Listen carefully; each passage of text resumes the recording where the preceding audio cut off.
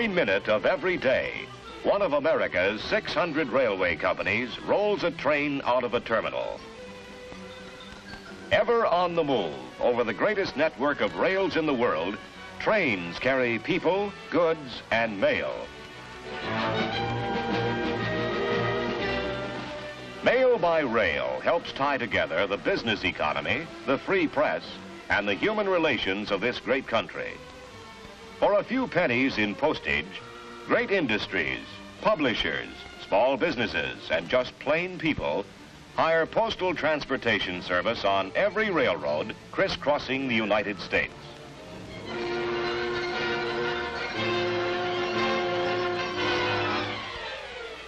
There are hundreds of railway post offices, built and owned by the railroads and rented to the Bureau of Transportation of the Post Office Department. Called RPO cars and manned by hard-working postal transportation crews, they provide almost half a billion miles of valuable service every year. In addition to trains, today highway post offices help speed the mail to every corner of the country. These vehicles regularly travel established routes on fixed schedules. Working with fittings similar to those in a railway post office car, one or more clerks and a driver serve about 20 post offices twice a day. In an expanding postal service, many forms of transportation are used. Among these are buses, trains, ships, and planes. Airmail service is also a vital activity. Mail of all classes, except that which may be damaged by low temperatures or high altitudes, is accepted for airmail. Postal transportation clerks distribute airmail in terminals right at the airfields, much the same as they work on trains and buses. Working the nation's mail 24 hours a day, seven days a week, takes a lot of men, an army of public servants. Who are these men they might be like Cappy Smith, the man next door. Let's stay with him and watch a typical RPO clerk's workday right from the beginning. That's Cappy's wife. She's as proud of his job as he is. In addition to doing important work, the job is paying for their house and is sending their girl to college. The letter was from the office. Notification that Cappy was to break in a new man on his next run.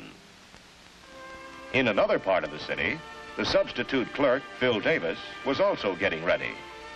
Like thousands of other clerks, regulars, and subs, he was doing his homework, stamping facing slips with his name, RPO train, and date. These slips are the means of tracing missent mail. Like all subs, Phil was excited about his new job. Until the skills were learned, it all seemed tough, which is natural. The package of slips are part of the equipment Phil will need on the job. Since he had time, the practice case was on his mind. And as he had done many times, he began throwing cards. This, in miniature, is the job of distributing mail according to a set pattern. In this way, all clerks learn the schedules and schemes and build up their speed. Their periodic examinations are conducted the same way. Rehearsed and confident, Phil was now ready for his first run as a postal transportation clerk. In Cappy's house, a similar scene was underway. Although he always kept his road grip packed, Cappy carefully checked its contents before leaving home. Tags and slips, revolver, holster and shells, schedules and schemes, badge and manual, goggles, pencils, twine knife, labels, stamp and pad. He knew that on the road, it's difficult or impossible to obtain the tools of his trade. After checking the grip, Cappy checked his wallet for travel commission, revolver permit, and money. In addition to lunch, there were work clothes to prepare and pack. Safety toe shoes, cap, gloves, shirt and pants.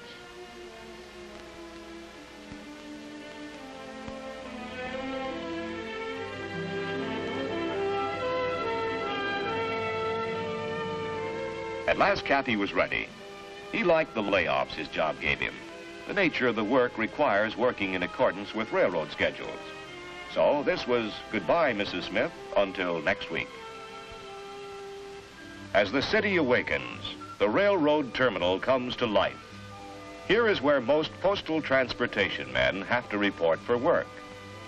At the transfer office in the railroad station was where Cappy Smith had the appointment to meet Phil Davis.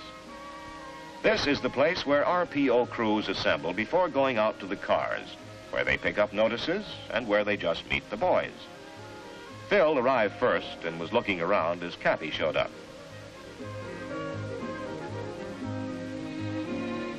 Cappy liked the boy right off. Thought he would make the grade because he showed interest. The old-timer put the newcomer at ease by showing him the ropes.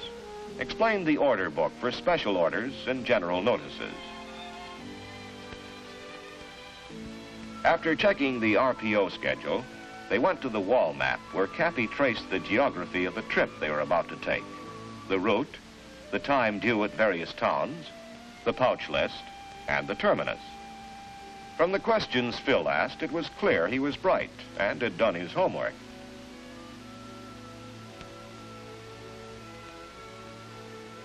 Their next stop was the blackboard, where U.S. mail car assignments were listed. Together, they read the track location and number of their car. After Cappy explained the board, they headed for their car. On the way, Cappy warned the new man to be alert to new dangers, to watch out for station tractors and railroad switching equipment. Cappy warned Phil never to cross tracks unless it was absolutely necessary. They watched a trackman do it easily and right.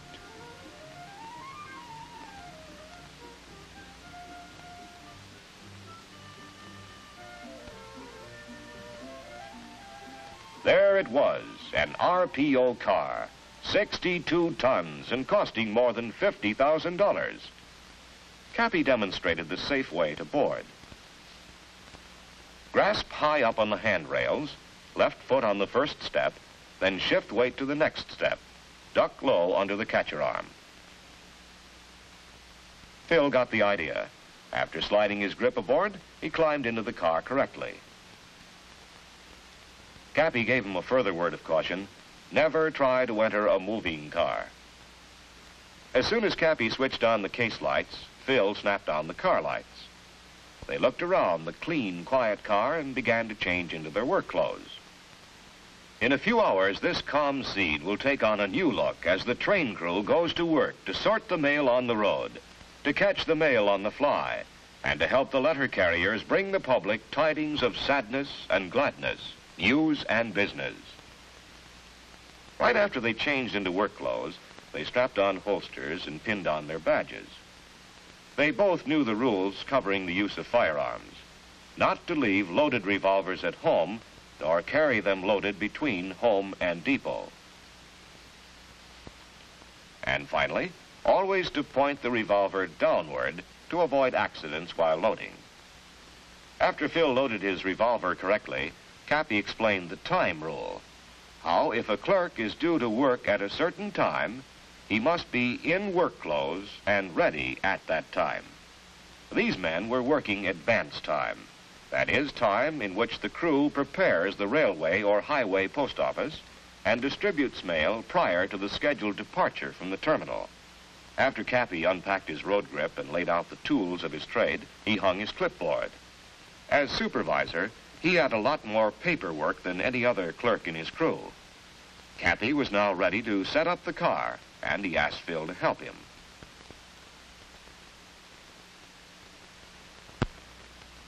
Together, they fastened the pedestals to the floor plate to provide a solid base for the tables. Next, they placed the center rods on top of the pedestals to support the full length of table. For now, they temporarily hung the sections of the distributing table on the crossbar. Eventually, these sections would be made up as a strong work table with stationary pedestal legs. Observing safety measures, Cappy showed Phil how to let down all the racks that would be needed. He particularly cautioned Phil against bumping his head on the overhead box hooks. Although Cappy was completely familiar with the car diagram, he hung it up as a guide for Phil. The car diagram showed where sacks and pouches were to be hung in each rack.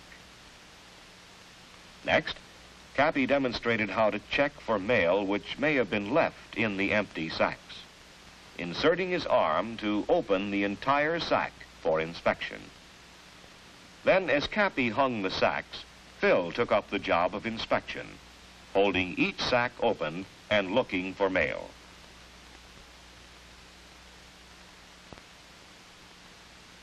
The post office uses 25 million sacks and pouches. If a letter were lost in one of them, it might be lost a long time. The metal eyes were placed on hooks, so set that the sides of each sack became taut, leaving no space between sacks.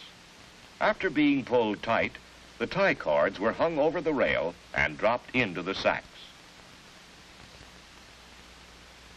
Finally, all the racks were dressed. This business is full of such unique terms, and since they're widely used, it is well for all employees to know them. When Phil asked Cappy to check his work, Cappy pointed out a hole between the sacks where mail might slip through. This was easily corrected by rehooking and tightening the tie cords.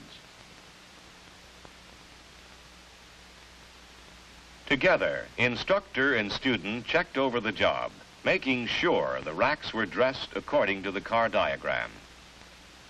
It was important to know the differences between a sack, which is used for newspapers and parcel post, and a pouch, which is used for first-class mail, and then the label holders for the two containers, as well as the different methods of closing. The sack is tied with cords, while the pouch is strapped and sealed with a lock.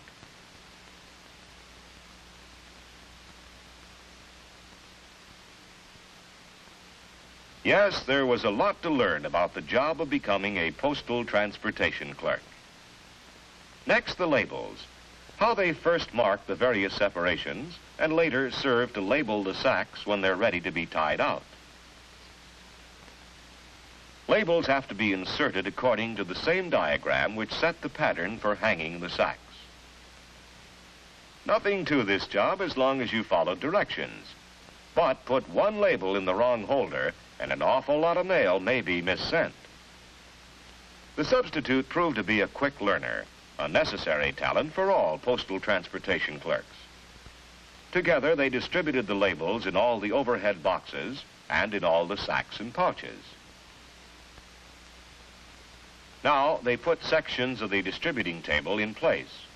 Cappy raised the table, resting the front hooks on the center bar, and being careful of his hands, grasped the back hinge hooks and released them to slip over the rod of the adjoining rack section.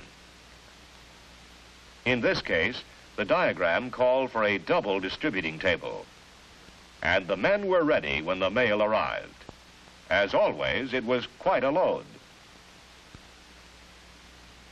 When the mail porter got his truck in position, Cappy and Phil were on hand to take in mail for storage and for working. The mail was accepted and the load was stacked according to plan. As the sacks were taken on board, the labels were read quickly and accurately. Bulk mail has to be stored so that it may be unloaded at various points on the run. Cappy kept his eye on the sub. There were many safety precautions to observe while stacking bulk mail. Tie cords have to be kept out of the aisles. They're a tripping hazard. He showed Phil how to make a good base for the pile, arranging the sack so as to leave about an 18-inch aisle. A solid foundation will prevent movement of the train from toppling the sacks. Lifting a heavy item incorrectly risks injury. The right way to lift is feet apart, bent knees, back straight, firm grasp, and a steady upward thrust of the legs. Then the mail is stored between stanchions in such a way that the clerk knows what each separation contains. Phil soon got the hang of it and began to place heavy, bulky items at the bottom, starting the base of the pile as far out as possible.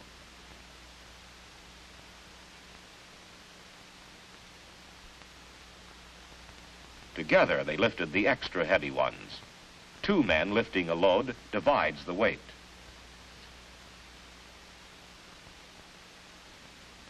In the meantime, mail was also being loaded in the storage car, usually adjoining the RPO car. As Phil continued to stack bulk mail in the RPO car, he learned that dragging the sacks is an easy way to move them.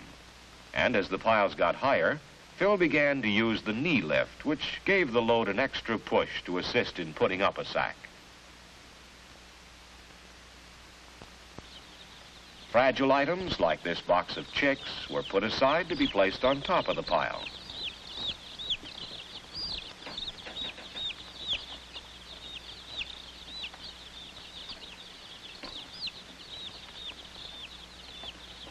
In the meantime, the remainder of the crew arrived. Supplies of twine and locks were unloaded and distributed to the men at their stations. The clerks immediately set up their cases in order to perform their advanced distribution of mail. Important mail like registered, which may contain money, documents, or any other things of value, is always given special handling. To maintain integrity of the mails, many procedures are followed which make it possible to know exactly who handles each registered letter every step of the way. For instance, one man on each crew is designated the register clerk, and reds, the familiar term given to registered mail, are his responsibility for the entire run. The man who handles registers should have special knowledge of routing and distributing registered matter. Registered pouches are sealed with special locks which record every time they are opened. After dumping the pouch, the clerk makes sure it's empty.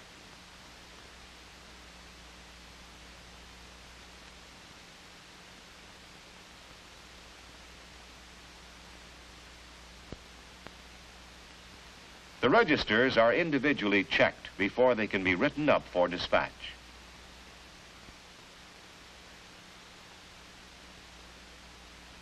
The pouchman first distributes letter packages containing number one mail. Mail which can be worked later is held back. The letter slips are left on the top letter of each package in order that the clerk can check missent mail. Later, the same letter slip is saved as each package is distributed. Once the mail is ready, the clerk begins distributing letters by reading each address and flipping each letter into its right pigeonhole. Number one letter mail contains mail for the first towns through which the RPO will pass. The distributor at the paper rack gives priority to newspapers, parcel post, and ordinary papers in just that order. But number one mail means what it says. It's worked first. Flipping newspapers neatly into the sacks is an art that all clerks learn. Just before departure, the transfer clerk shows up with the consist, which is a record of the cars in the train, the amount of storage mail loaded in the RPO, as well as the storage car. He also checks if there are any pouches which they hadn't received. To prevent robbery or mail falling out of the car, the doors are kept closed and locked. This is one job where a man can't be late in reporting to work. This office moves. People's mail, going someplace, coming from someplace. People's possessions, things they are buying, selling, or giving away, on the move. The most exciting thing about handling mail, when you stop to think of it, is that each letter contains a person's thoughts, his hopes, business, love, and promises, neatly folded in a tiny package. The important thing is that these men help make sure each item arrives at its destination on time. Once on a run, the schedule becomes part of them. Cappy checks his watch spots a familiar landmark. Then, knowing they were nearing their first station, begins to tie out packages of letters to be put off.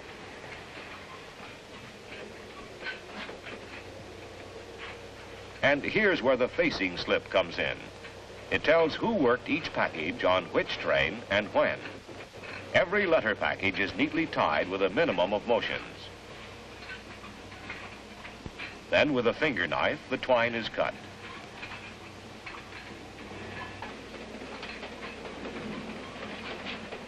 These tie-outs are given to the pouch man who distributes them. Care is taken to get all packages of first-class letters for this destination in the right pouches.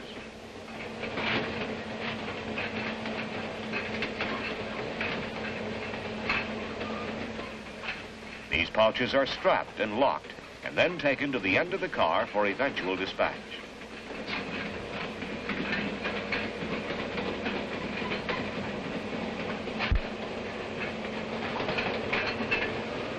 Sacks of newspapers and parcels are also tied out.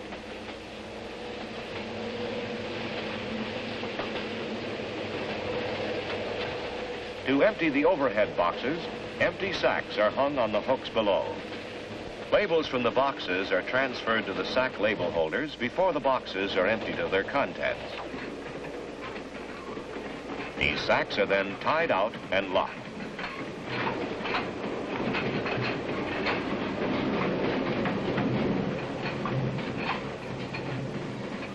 With the help of the substitute, the load is moved to the car door.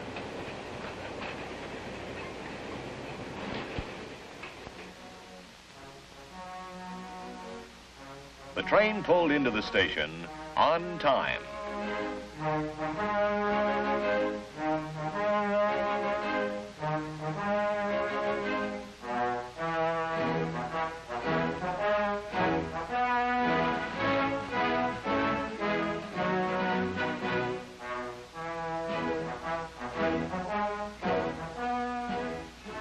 Now, the mail was going to be transferred with the help of station employees and mail messengers. Phil was given the job to pull the box, which means emptying the letterbox at a stop station.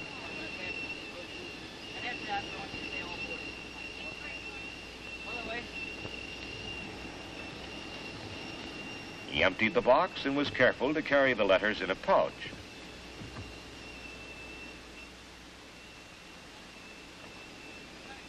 Locking the box, unloading and loading the sacks of mail, and the station transfer was completed. That's all there is to it.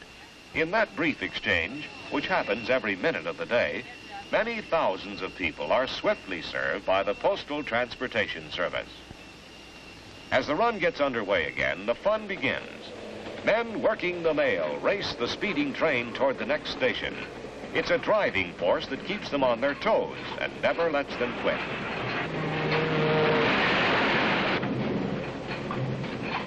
Now watch how they catch mail on the fly with the help of a mail messenger. Ten minutes before the train is scheduled to pass a non-stop station, the mail messenger carefully hangs the special catcher pouch of mail.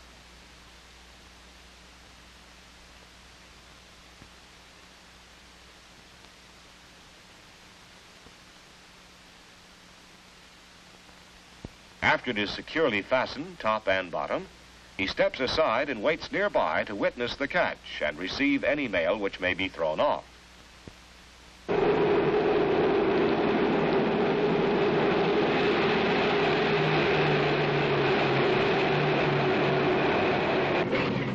Aboard the train, local mail is being tied out as the clerk spots his landmark. This was it. Must get every letter package for this dispatch in the pouch and tied out. The race against time and speed was on. As soon as the last pouch was made ready, the clerk grabs his safety goggles and goes to his station. The engineer is required to signal the RPO car that they are approaching a non-stop station.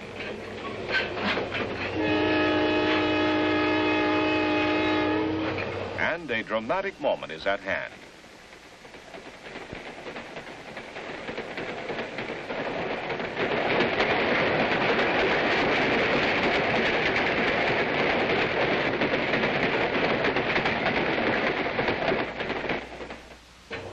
In Cappy's crew, the local clerk was getting ready to make an exchange.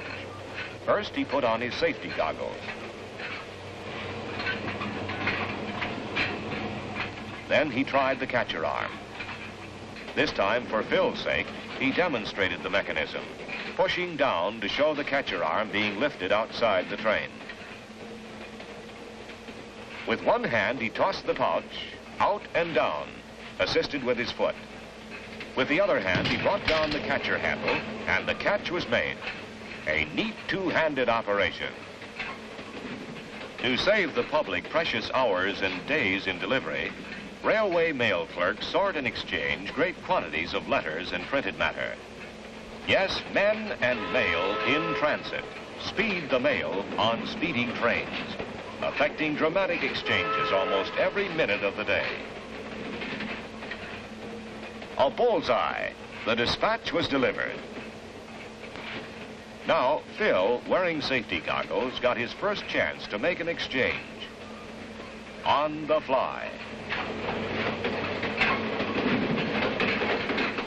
Like Phil, all new men qualify themselves quickly, provided they take up this work with a sense of responsibility and willingness to devote their best talents and efforts to the service. Cappy was right. Phil Davis was going to make the grade. These men who treat the nation's mail like it's their own ask for no salutes. Few jobs are more exacting. These men know no night or day. They are possessed of a retentive memory and a sense of honesty matched by few.